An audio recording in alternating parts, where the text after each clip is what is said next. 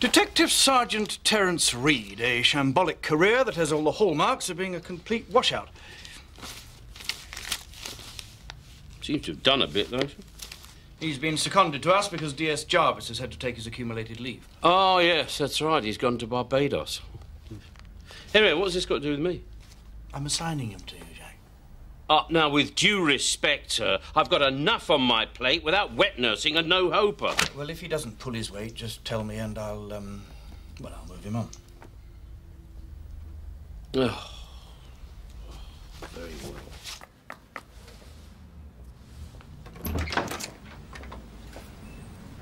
Oh, it's you. Well, you can cut that out for a start. Reid, isn't it? Yes, Guff. Well, you'll learn that I don't like to be messed about. I also don't like to be interrupted when I'm thinking out loud. And I certainly didn't give up smoking so I can suck in my DS's filthy air. Is that clear? Crystal. Good.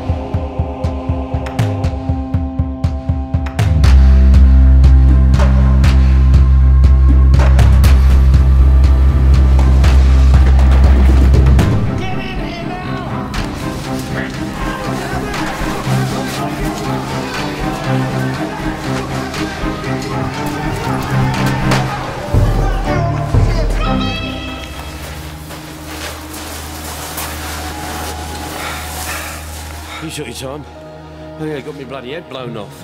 Yeah, we couldn't even found a brighter light, so we had a clearer shot of me. Oh, you ungrateful sod. I didn't know what I was switching on. It could have been your air dryer for all I knew. Thanks, I need that.